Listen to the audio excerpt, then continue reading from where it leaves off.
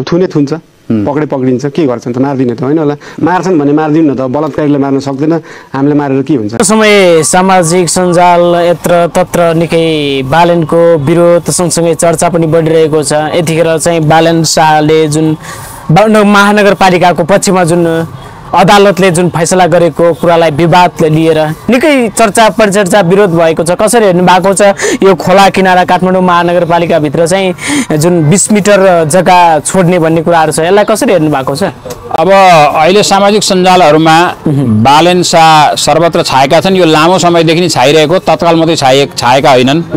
तर अहिले जुन सर्वोच्च अदालतको एउटा फैसला आएको छ त्यो फैसलाले चाहिँ नदी किनारका उपत्यका केही नदीहरूमा बिस मिटर छोड्नुपर्ने कुनैमा अब दस मिटर कुनैमा छ मिटर यसरी एउटा मापदण्ड तोकिदिएको छ। त्यो मापदण्ड तोकिनु राम्रो हो।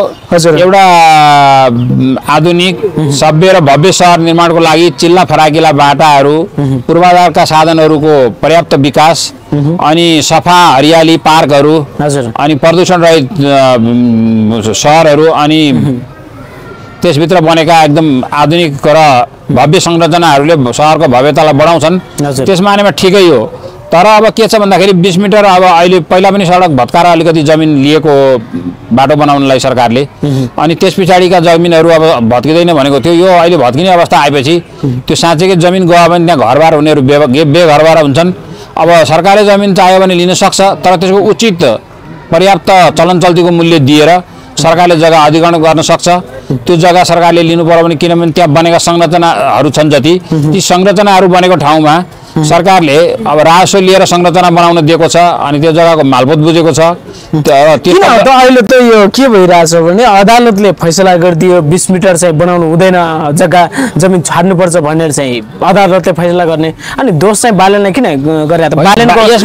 बालनको निर्णय हो। बालनको निर्णय भएर चाहिँ त्यहाँ स्थानीयहरू आन्दोलन गरेर बालनको त्यो अफिस नै घेराउ गर्न। कसैलाई दोष दिनुपर्ने कारण छैन। बालनले त त्यो अदालतले बाहिर ल्याइदिए।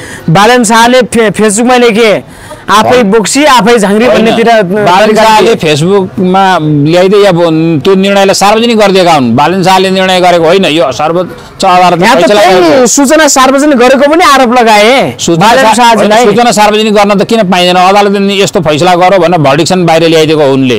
नगरपालिका नगर समितिमा मिटिङ राख्नुपर्छ त्यसपछि। सार्वजनिक गर्नुपर्छ अदालतले कुनै कुरा निर्णय गरेको कुरा जसले पनि बाहिर ल्याउन सक्छ त्यो मिटिङ राखेरै बाहिर ल्याउनुपर्छ भन्ने जरुरी छैन। अब रहेको कुरा के भन्दाखेरि त्यो जमिन बिस मिटर छ भने सरकारले अब जतिसुकै ठुलो मुआवजा तिर्नु परे तापनि अघि जग्गा अगर जमिन लिनुपर्छ भने सरकारले उचित अहिलेको चलन चल्तीको मूल्य दिएर लिनुपर्छ पब्लिकको घर त्यसै भत्काउन पाइँदैन। पाइँदैन।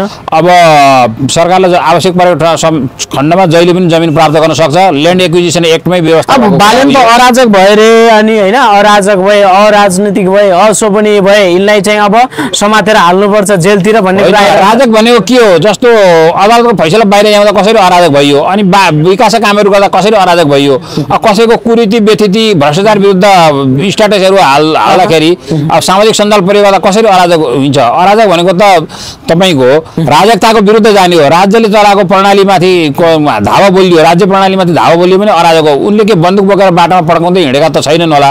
जथाभावी सवारी नियम मिचेर सवारी चलाएका छैनन्। राष्ट्रको ढुकुटिया नगर महानगरपालिकाको कोषलाई जथाभावी प्रयोग गरेका छैनन् भने ऊ कसरी अराजक हुन्? उनी त राजक हुन्। र अरू अराजकहरूको नजरमा मात्रै उन- उनी अराजक हुन्। अरू आफूलाई चाहिँ राजक सम्झिने?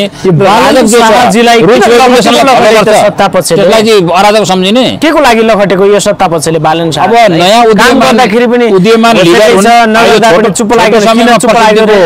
एउटा शिखर भनौँ न। समिट लेभलको हाइट उनले बनाइसके।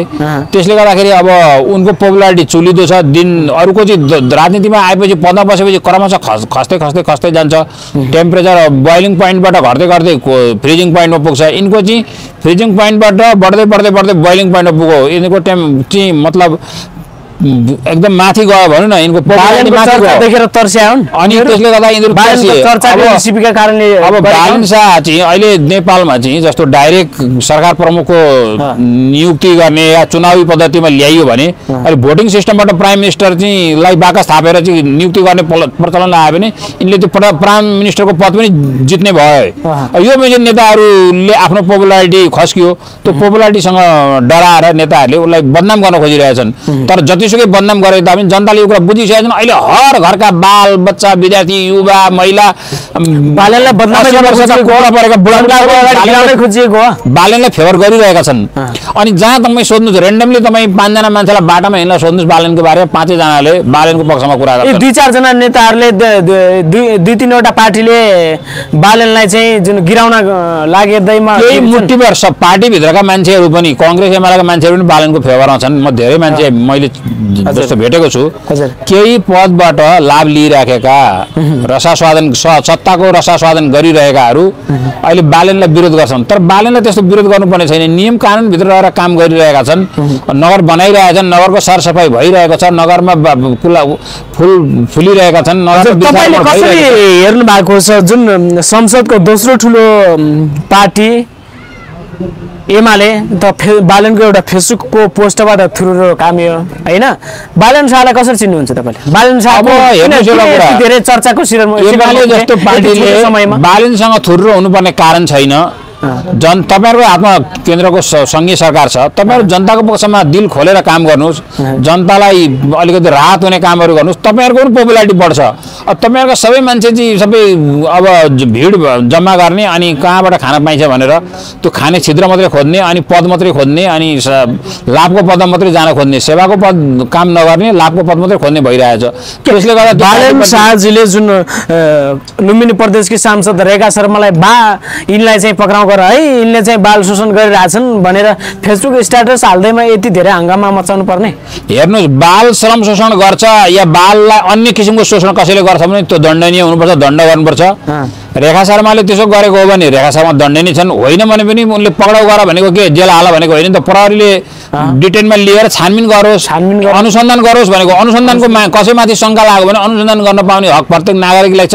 त्यसमाथि बालन भनेको एउटा महानगर हुन् उनको महानगरभित्र बसोबास गर्ने एकजना महिलाले त्यो महानगरभित्र कोही बाल गाउँबाट बालिकाहरूलाई पढाइदिने के भनेर ल्याएर श्रम शोषण भएको छ या अन्य कुनै शोषण भएको छ भने त्यसमाथि छानबिन होस् भनेर माग गर्दै आ- आँतिनु पर्ने छैन अब छानबिनपछि त सत्य कुरा आइहाल्थ्यो। त छानबिनसँगै डराउनु जरुरी छैन। अब एमालेका कर्तृत्वहरू पनि बालन शाहजीले सुल्झाइदिनु पर्यो है। ल ल यो यो छन् है यसलाई गर भन्नु पर्यो। होइन। एमालेको मात्रै होइन। कङ्ग्रेसका माओवादीका अन्य समूहका पनि छन् भने।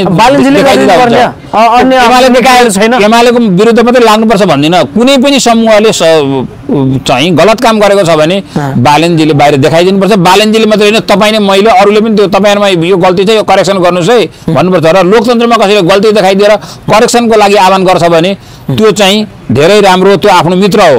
र जसले गलत हेर्नु भएको छ जुन बालनजीले जुन फेसबुक स्ट्याटस हाल्नुभयो रेखा शर्माको बारेमा। जुन अब त्यो सिओ एमाले पार्टी नै उनलाई चाहिँ बचाउनतिर लागेको जस्तो देखियो। त्यसले एउटा तरङ्ग ल्यायो। एउटा देशभरि एउटा राष्ट्रिय उनलाई बचाउन त खोजेको हो। तरङ्ग ल्यायो। अब त्यसले गर्दा एमाले अलिकति त्यसबाट आत्तियो भनौँ झस्कियो। झस्कियो। तर झस्किनु पर्ने केही थिएन। त्यो फेसबुकलाई डिलिट गराइयो यहाँबाट अब विभिन्न खालको कम्प्लेन गरेर कम्प्ले कम्प्लेन गरेर। फेसबुकमा अनफलो गर्नेलाई अहिले चाहिँ तपाईँको अब अहिले फेरि त्यसलाई फे- फेर फेसबुकले त्यसलाई पुनः त्यसलाई स्थापित गरिदियो रिस्टोर गरिदियो र त्यहाँ राखिदियो भनौँ न। त्यसले गर्दा बालनले राखेको स्ट्याटस सही थियो भन्ने कुरा त त्यसले पुष्टि भयो। तर अब तपाईँको कसैलाई फलो गर्ने अनफलो गर्ने भनेको त खुसीको कुरा। यो त उत्तर कोरिया होइन नि। कसैले अब फलानु राष्ट्रपति मरो त्यहाँ रोएर त्यहाँ गएर चियानमा रोएन उसको लासमा रोएन भनेदेखि त्यसलाई मृत्युदण्ड दिन्छ। त्यो यो कुनै उत्तर कोरियाको शासन होइन यो। यो त डेमोक्रेटिक शासन भएको देश हो। यहाँको संविधान त प्रजातान्त्रिक छ नि। भनेपछि कसैले अब फेसबुकलाई अनफलो गर्दै उसलाई पक्रेर कारवाही गर्नुपर्छ भन्ने छैन। त्यस्तो हो भने यो नमुना हो। पक्राउ केको लागि उद्देश्य के? भन्दैछु त्यो एउटा निरङ्कुशताको नमुना हो। त्यसरी पक्रिएर कसैलाई दबाएर हेपेर पेलेर तपाईँको कुनै पनि अब जनतालाई आफ्नो बसमा पार्न सकिँदैन। त्यो दिवासम्म त्यागे हुन्छ। उनले चाहिँ जुन एउटा एउटा तानाशाही तरिकाले अगाडि बढ्न खोजेको हो देखियो। अब अहिले केपी ओलीजीलाई सबैले त्यो भनिरहेछन् हुन त उनी पनि लोकतन्त्रको लागि लडेरै आएका मानिस हुन्। अहिले पनि त भन्दैछन्। उनको पनि योगदान छ लोकतन्त्रको लागि। होइन हत्या भए तापनि राजनीतिबाट प्रेरित खालको हत्या थियो त्यो। त्यो चाहिँ विशुद्ध आपराधिक हत्या होइन। हत्या भएको हो तर के भन्दाखेरि त्यो पोलिटिकल मिसनकै रूपमा हत्या भएको हो। त्यसलाई हामीले शत प्रतिशत अपराध भनेर भन्नु हुँदैन। तर पञ्चायत कानुनले त्यसलाई चाहिँ अपराधको रूपमा व्याख्या गरेको थियो र जब परिवर्तन आइसक्छ परिवर्तन आएपछि कानुन चेन्ज भएपछि त्यसलाई त्यही ढङ्गले हेरिँदैन। त्यो हेर्ने दृष्टिकोण चाहिँ फरक भएर जान्छ। र यस मानेमा केपी ओलीजीलाई पनि के भन्न चाहन्छु भने उहाँ स्वयं प्राइम मिनिस्टर हुनुहुन्छ। अब उहाँले सानातिना कुरामा अल्मलिने होइन। एउटा देशको लागि मिसन अगाडि लिएर। देशको देशको कायाकल्प गर्ने कार्यक्रमहरू उहाँले बढाउनुपर्छ। झिना मसिना कुरामा प्रधानमन्त्री अल्झिने होइन। अब रिबिन काट्ने उद्घाटन गर्ने अनि मान्छेका फेसबुक स्ट्याटस हेरेर त्यसलाई अब जवाब फर्काउने सरकारको प्रधानमन्त्री होइन। तपाईँलाई यति फेसिलिटेट गरेर प्रधानमन्त्री पदमा राखिएको छ। तपाईँलाई बचाउन राज्यले अरबौँ रुपियाँ खर्च गरेको छ उपचारमा। भने तपाईँ त्यस्ता काममा नअल्मलिनुहोस् देशलाई एउटा गेम चेन्ज हुने खालको कामतिर अगाडि बढ्नुहोस्। त्यसले नै नेपाल समृद्ध उहाँले भन्नुहुन्छ। सुखी नेपाल समृद्धि नेपाल बनाउनुहुन्छ। साना साना झिङ्गा मसिनातिर लाग्नुहुन्छ। देशमा राम्रो काम गर्ने मान्छेलाई देख्नै चाहनुहुन्न। बन्छ समृद्धि नेपाल सुखी नेपाल। समृद्ध नेपाली बनाएर राम्रो हो तर अहिलेकै अवस्थामा यसरी कसरी सुखी नेपाल समृद्ध नेपाली खडा बन्छन् र? बन्दैन। सरकारको प्रोग्रामै छैन जनताको पक्षमा अहिले त। आवाज उठ्न थालिसक्यो सडकदेखि सदनसम्म यी बुढा नेता यी कुहिएका नेताहरूलाई लखट्नुपर्छ अरे। होइन अब यसो छ। समयले परिवर्तन ल्याउँछ। अब युवाहरूलाई शक्ति हस्तान्तरण गर्नुपर्छ नेतृत्व हस्तान्तरण गर्दै जानुपर्छ। पुरानाहरूको अनुभवलाई पनि हामीले आत्मसात गर्नुपर्छ। पुरानो भन्दैमा त्यो चाहिँ डेट एक्सपायर औषधि जस्तो नसम्झौँ तर के छ भने नयाँ युवालाई अगाडि बढाउँदाखेरि पुरानाहरूको अनुभव र नयाँको जोस जाँगरलाई तपाईँको लिएर अगाडि बढ्यो भने मुलुकमा कायापल कल्प कायापलट भएर जान्छ। युवाको आवश्यकता भएकै हो। युवाको आवश्यकता भएको आवश्यकता देखियो। एकदम भएको छ। युवाको आवश्यकता अपरिहार्य छ।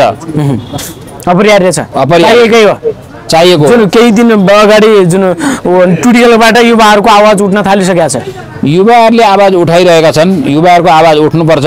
अब उनीहरूले जनतासँग सम्बन्धित हो यही आवाज उठाएको कुरालाई एमालेका शङ्कर पोखरेल एमालेका नेता शङ्कर पोखरेलजीले के भन्नुभयो भने यो सब सडक सडकमा युवाहरू उफ्रिनु कराउनु यो चाहिँ सबै प्रचण्डको कारणले गर्दा हो। प्रचण्डजीले अभिव्यक्ति दिनुभएको थियो। एउटा कार्यक्रममा प्रचण्डजी तपाईँले यसरी नै ठग र यसरी नै अगाडि बढ्ने भने चाहिँ हामी सिंहदरबारदेखि बालोटार घेर्न आउँछौँ भन्नुभएको थियो। यसरी नै अर्को कार्यक्रममा प्रचण्डजीले नै बङ्गलादेश र श्रीलङ्काको अवस्था नेपालमा पनि हुन्छ दोहोरिन सक्छ भन्ने कुराहरू गर्नुभएको थियो। यही अराजकता यही बोलीले यही अभिव्यक्तिले गर्दाखेरि अहिले सडकमा युवाहरू उठेका हुन् र बालन बालन शाह अनि सडकमा उफ्रिने युवाहरूलाई उकासेको अराजकता बढाएको उकासेको युवाहरू प्रचण्डले उकासेर सडकमा आएको भन्नु चाहिँ वाहियात कुरा हो। अब यसो भने त उहाँहरू पनि पहिला सडकमा आउनुहुन्थ्यो आन्दोलन गर्नुहुन्थ्यो। यी अहिलेका शङ्कर पोखरेलहरू अब अरू एमालेका नेताहरू भनौँ अहिलेका नेताहरू।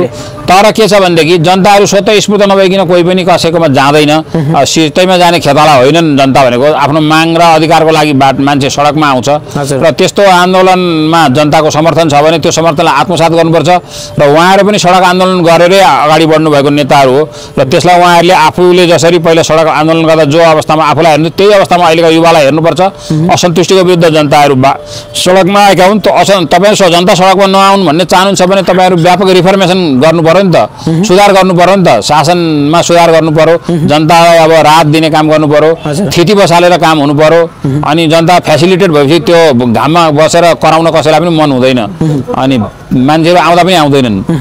जुन प्रचण्डजीले जुन अहिले अभियान चलाइरहनु भएको छ पार्टी सुदृढीकरणको अभियान अगाडि बढाइरहनु भएको छ के छ? यसले कतिको सार्थकता पाउला? कतिले भन्दैछन् अब चाहिँ सुदृढीकरण अभियान सबै पार्टीहरूले चलाउँछन् उहाँले पनि चलाइरहनु छ त्यो राम्रो कुरा हो। पार्टीलाई सुदृढीकरण गर्नुपर्छ। र अन्य पार्टीहरूले पनि आफ्नो पार्टीलाई सुदृढीकरण अभियान गर्दा हुन्छ। फुर्सदको समयमा पार्टीको सङ्गठन गर्ने नि हो। त्यो पहिलेदेखि चलेको चलन हो। अब उहाँले पार्टीलाई सङ्गठित गर्छु त्यसमा सुधार गर्छु भनेर लाग्नुभएको छ भने त्यसलाई स्वागतै मान्नुपर्छ। कतिले भन्दैछन् अब अहिले सडकमा आवा उठेको आवाज होइन यो कतिले भन्दैछन् गणतन्त्र ठिक छ यही गणतन्त्रलाई सुधार गर्नुपर्छ भन्दैछन्। कतिले भन्दैछन् होइन यो ठिक छैन यसलाई चाहिँ फाल्नै पर्छ नयाँ सत्ता नै नयाँ शासन नै ल्याउनु पर्छ भन्ने नयाँ शासन ल्याउँदा के ल्याउने त अब तपाईँलाई म भन्छु लोकतान्त्रिक शासन व्यवस्था फालियो भने त्यसमा भएको गलत कुरालाई सुधार गर्ने परिवर्तन ल्याउने छ निर्वाचन प्रणालीमा केही परिवर्तन गर्नु छ कि संविधानमा परिवर्तन गर्नु छ कि व्यापक जनसहमतिमा सर्वदलीय सम्मेलन गरेर त्यसलाई सुधार गर्न सकिन्छ। अब यसको मतलब लोकतन्त्र असफल भयो भन्न अर्को निरङ्कुशता ल्याउन सकिँदैन या मिलिट्रीको शासन ल्याउन सकिँदैन। अब पञ्चायत व्यवस्था पहिला असफल भएर गएको हो निरङ्कुश राजतन्त्र जनताले मान्दैन। भनेदेखि यो व्यवस्थामै सुधार गर्नु पर्यो तर मेन कुरा अहिले भ्रष्टाचार छ त्यो भ्रष्टाचारलाई नियन्त्रण गर्नु पर्यो अनि शासनमा सु थिति बसालेको हुनु पर्यो अनुशासित शासन व्यवस्था हुनु पर्यो अनि सबै नागरिकलाई समान अवसर अवसरको स्वतन्त्र समानता चाहिँ दिनु पर्यो अनि स्वतन्त्रता दिनु पर्यो र बोल्ने लेख्ने पढ्ने आफ्नो वृत्ति विकास गर्ने जुन अवसरको समानता छ। अनि अभिव्यक्तिको स्वतन्त्रता त्यसमा कसैले पनि अङ्कुश लगाउन पाउँदैन। त्यो अङ्कुश लगाउन कसैले कोसिस गर्यो भने त्यो पतन भएर जान्छ। अब त्यसको इतिहासले त्यस्ता कुराहरूलाई पुष्टि गरिसकेको छ हुन्छ। समय संवादको लागि यहाँलाई धेरै धेरै धन्यवाद। हस् धन्यवाद।